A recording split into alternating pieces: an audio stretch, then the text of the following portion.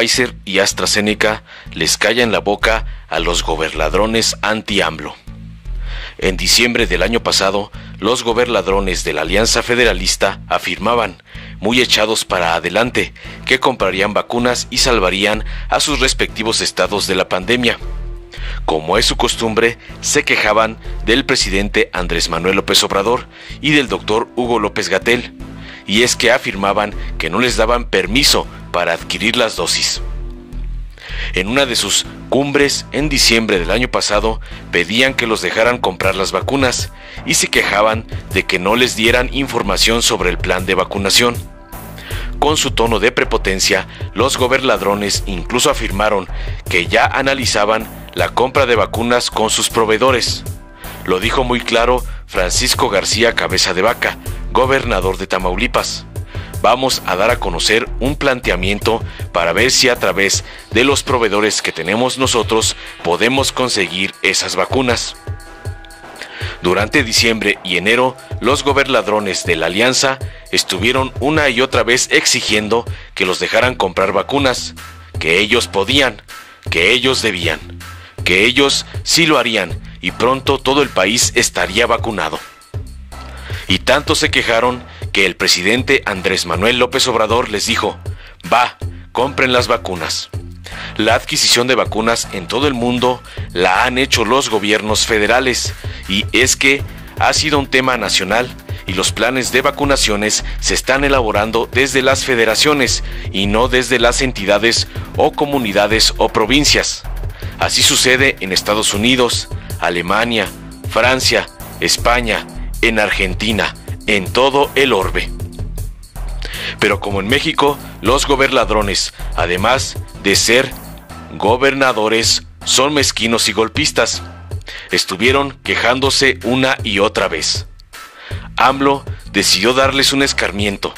Quitó el candado en la compra de vacunas y aprobó que las entidades pudieran hacerlo. Y es que él sabía que los laboratorios de todo el mundo que producen o producirán vacunas no tendrán dosis hasta el 2022. No las hay, y las que hay ya están comprometidas, así como las que se harán en el futuro. Así pues, AMLO autorizó que las entidades las compraran. Fue una jugada maestra. Los gobernadrones, muy echados para adelante, dijeron que, apoyados de la iniciativa privada, iban a consultar los protocolos y que importarían la vacuna, esperando que el compromiso del gobierno federal sea verdaderamente de facilitador en la adquisición de las mismas vacunas. Hasta le pusieron a su comunicado del 22 de enero el triunfalista nombre de Alianza Federalista le toma la palabra al gobierno federal para adquirir vacunas. Pronto, los ridículos aliancistas se comunicaron con los representantes de AstraZeneca y Pfizer, y estos les indicaron que no hay producción disponible. Es decir, los batearon, y que si bien les iba, les podrían surtir algunas vacunas hasta diciembre del 2021, o más probablemente hasta el 2022. Así lo dio a conocer la parte panista de la Alianza Federalista en su cuenta de Twitter. Asociación de Gobernadores de Acción Nacional, arroba GoanMX. En seguimiento al ofrecimiento de intentar adquirir vacunas contra COVID-19, informamos. Representantes comerciales de arroba AstraZeneca y de arroba Pfizer MX nos informan que no se tiene disponibilidad en la producción el posible suministro sería a partir de diciembre o del próximo año. Finaliza el Twitter de los golpistas. Es decir, quedaron en un completo ridículo y sin querer Pfizer y AstraZeneca les callaron toda la boca a estos golpeteadores y golpistas del PRIAN. Informó Mr. Politicón, nos vemos el próximo video. La vacuna contra el COVID-19 ya está llegando a México y con ella la esperanza de un mejor futuro se levanta. Sin embargo, debes recordar que aún hay riesgo de contagio y debemos seguir cuidándonos. Quédate en casa. Si tienes que salir, usa cubrebocas. Mantén sana distancia. Lava tus manos constantemente y usa gel antibacterial. Si tienes síntomas, acude al centro de salud más cercano. Si te cuidas, cuidas a México. Morena. La cuarta transformación está poniendo fin a los excesos del pasado, cuando antes se había gobernado con verdadera austeridad, priorizando a quienes más lo necesitan cuando un presidente había renunciado a los pinos, al avión y al Estado Mayor Presidencial, cuando se había declarado a la corrupción como el peor enemigo de México. En Morena no hay espacio para lujos y derroche. No puede haber gobierno rico con pueblo pobre. Morena, la esperanza de México. En un país devastado por el tumor de la corrupción, Morena busca ponerle un alto al despilfarro donaremos la mitad de nuestras prerrogativas asignadas al año 2021 que corresponden a nuestro partido. Y esto con un propósito. Abonar recursos y apoyo al Plan Nacional de Vacunación. Mientras otros partidos han intentado callarnos con el miedo a que el juicio ciudadano los señale y les exija hacer lo mismo, nosotras y nosotros, en Morena, nos ponemos hombro a hombro con el pueblo porque si aprendimos algo del pasado de privilegios y malversaciones, es que los partidos políticos no deben recibir semejantes cantidades de dinero.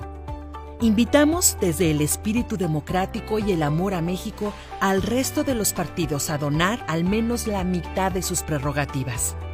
Sin fines electorales, sin intereses partidistas, nuestro apoyo se verá reflejado en más vacunas, más contención al virus más esperanza para México.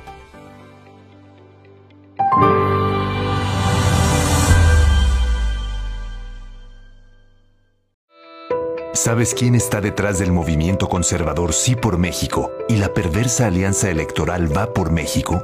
Nada menos que Claudio X González, empresario que financió en 2006 la campaña de guerra sucia contra Andrés Manuel, donde invirtieron miles de millones de pesos mintiendo que era un peligro para México para después robarse la elección.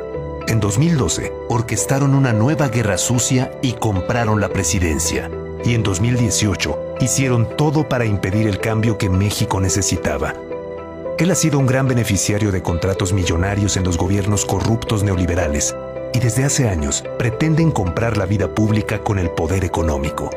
Este 2021 nuevamente hará todo para detener la cuarta transformación él es el verdadero jefe de la tóxica alianza electoral del PRIAN, a quienes somete y manipula a su voluntad. Ellos son el movimiento que dice sí a la corrupción, sí a la impunidad, sí a la pobreza. En los gobiernos de Morena, nos ocupamos de quien más lo necesita, entregando los apoyos directo a la gente y combatiendo la corrupción. Extirpemos al PRIAN. Morena es la esperanza de México.